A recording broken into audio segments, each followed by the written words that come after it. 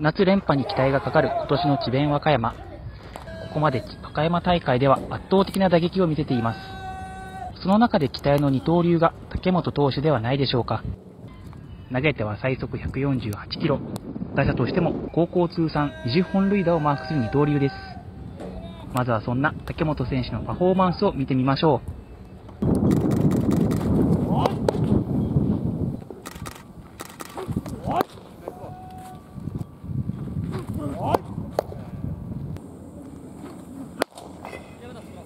隠しといて前。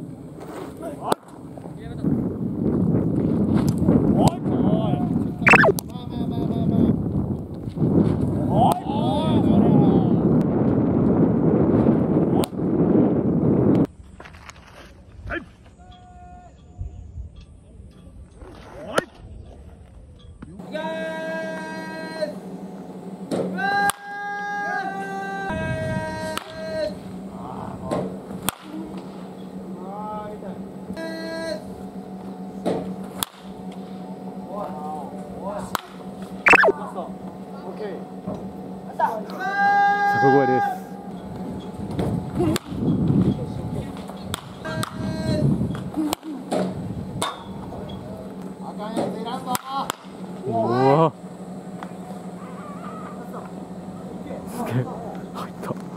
ライトを守る竹本選手の守備も見ていきます。まさに強肩。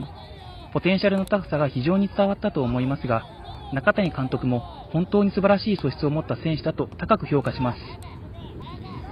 そんな竹本選手ですが、藤井寺ボーイズ時代から評判の逸材で、最速142キロをマーク。多くの強豪校からマークされる存在でした。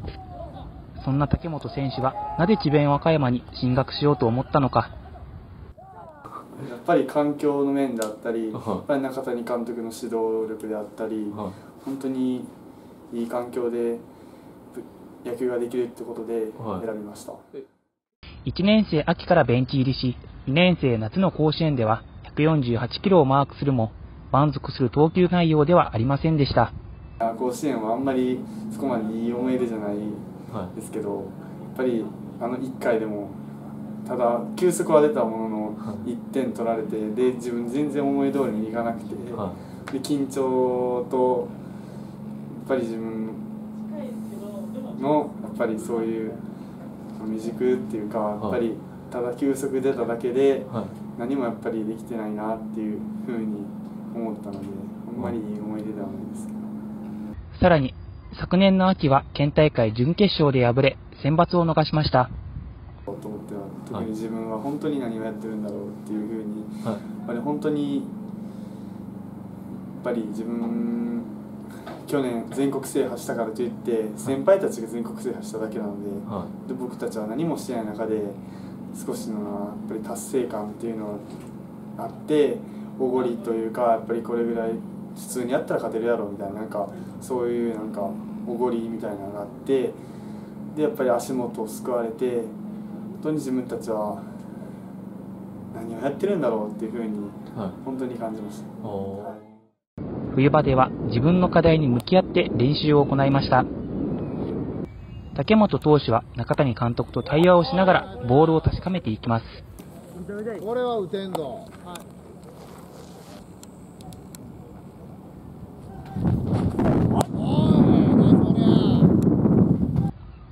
現在の課題についてこう語ります。うん本当に精度本当に今の時期はもう精度、はいまあ両サイドのまっすぐ低めに集める変化球勝負どころへの一球っていうところを本当に求めてやっています、はい、や大会前はこう意気込んだ竹本投手。っぱり投打でチームを勝ちに導けるようなピッチングバッティングっていうのとやっぱり勝負どころでやっはい。ぱりチームを本当にチームのためにチームの勝ちのためにはい。っていうプレーを本当にやっていきたいと思います。あ大会に入っても投打で力強いプレーを見せており、さらなる活躍に期待がかかります。昨年の夏、甲子園優勝に大きく貢献した一人として、渡部選手も入るのではないでしょうか。2年生ながら正捕手として先輩投手を牽引しました。その3年生リードしてもらう形で僕がやったんでやっぱりその3年生の力がやっぱ大きかったかなと、は、ピッチャー陣のやっぱりレベルの高いピッチャー多かったですしそういうピッチャーにやっぱり引っ張られてその優勝までいけたいなと思いますこの1年で大きく成長し、スローイングタイムは最高で1.8秒台を計測することもあり、準々決勝のホームランで高校通算36本塁打。これはチームでは一番の数字となります。打撃練習でも木製バットでホームラン性の打球を連発していました。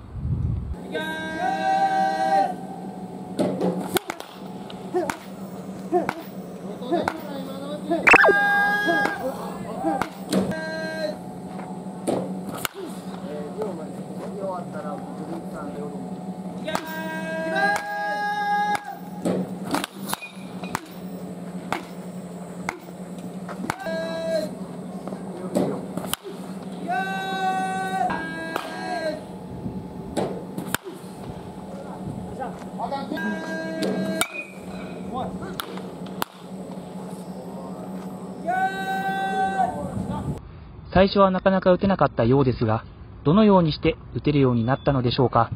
外したらないと思うんで、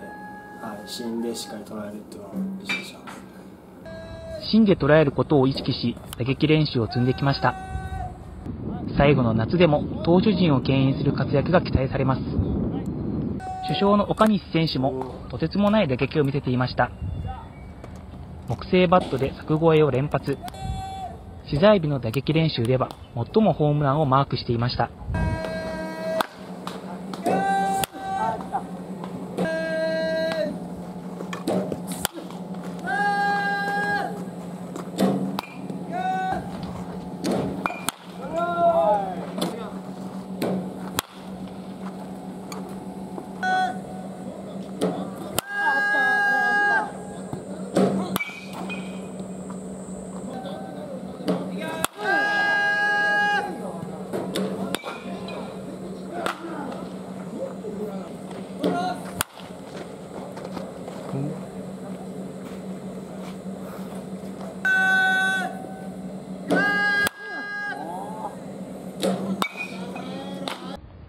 大会前は高校通算16本塁打をマーク。改めて見てもトップレベルの打撃力です。そんな岡西選手も芯で捉えることを意識していました。智弁和歌山はベスト4まで勝ち上がりました。準決勝では和歌山南陵、決勝では和歌山東対桐蔭の勝者と対戦します。強敵は続きますが、3人を中心に勝ち抜くことができるか注目です。最後にお知らせです。高校野球 .comYouTube をご覧の皆さんこんにちは。インディゴコンディショニングハウスの上栗です。この度株式会社完全さんから5月23日に急速向上プログラムという書籍を出版させていただくことになりました。ありがとうございます。こんな感じの本ですね。えっと全ページ252ページあるんですけどもオール写真でカラーになっていてとても分かりやすい内容になっていると思います。ピッチャーがどういう風にして球速を上げていくのかそのメカニズムとドリルとトレーニングを本と動画でその概要を解説してあります。メカニズムと投球フォームを完成させるドリルと。そして球速をより向上させるためのトレーニングの一貫したプログラムを今回この本で、まあ、皆さんこういうふうに、えっと、写真で分かりやすく説明してあります。難しい言葉のところは動画で解説をつけてます。是非皆さんこの本を読んでいただいて手に取っていただいてこの速いマウンドから投球フォームを作って速い球を投げるっていうことをやってみてください。よろしくお願いします。